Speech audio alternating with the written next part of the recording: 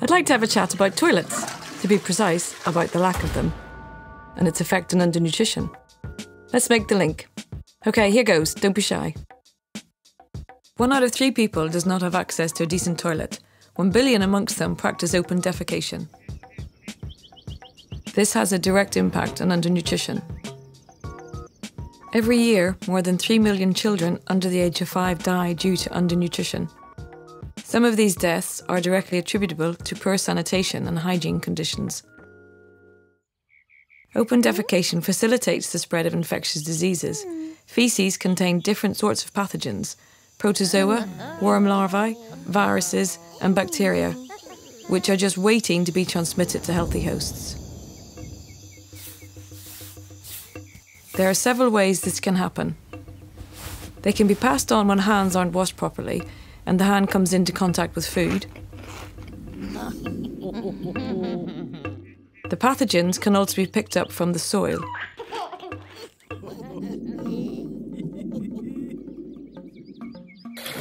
And often they contaminate water. They even stick to the legs of flies, moving from feces directly to your plate.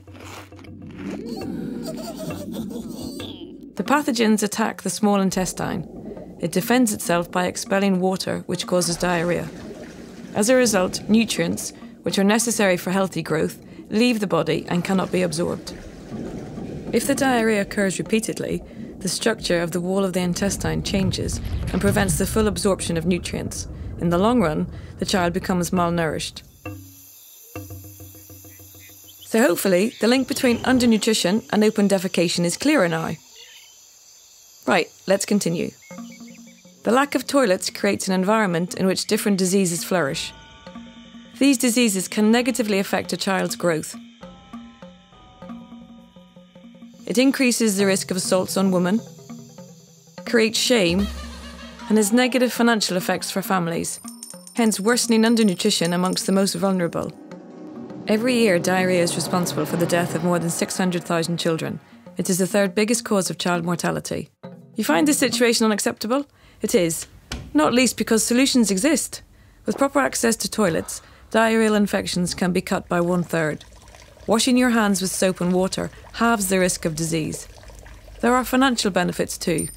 For every one euro invested in sanitation, there is a net gain of five because people are healthier and earn more for their families. An investment in sanitation is an investment in development. So now you know that undernutrition cannot be defeated without access to toilets for all. We have to break this taboo. Simple solutions exist. It is now a question of funding and political will. Let's stop children dying from undernutrition. Let us be that generation.